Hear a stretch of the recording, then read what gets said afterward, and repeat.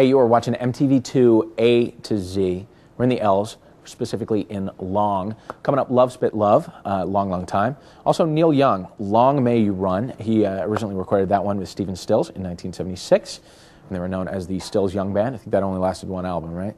Uh, but there, there's a uh, Crosby, Stills, Nash and Young tour going on right now, and they're playing that song on the current tour. So if you like that one and they're coming to you, go check it out. Right now, Nitty Gritty Dirt Band, they formed in 1965. One of their uh, original founding members was none other than Jackson Browne. The band is still together. Jackson obviously no longer with them. This is from